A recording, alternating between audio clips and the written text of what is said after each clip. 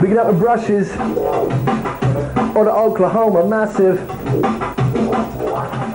At the moment, pirates are exploiting the unregulated potential of the internet, leaving the music industry in mild panic as they try to catch up with this new breed of pirates. Really, the technologists and the copyright owners are starting to come together a bit more. So I think that in the near future we'll actually see um, technologies up there on the internet which, which not only acknowledge the rights of the copyright owner but you know, may in fact remunerate them as well. The actual spirit hasn't changed. All it's changed is technology, as it always does. I mean, all I've done is follow the technology, natural progression. From tower blocks to then the internet. I mean, it's just a natural thing, what comes next.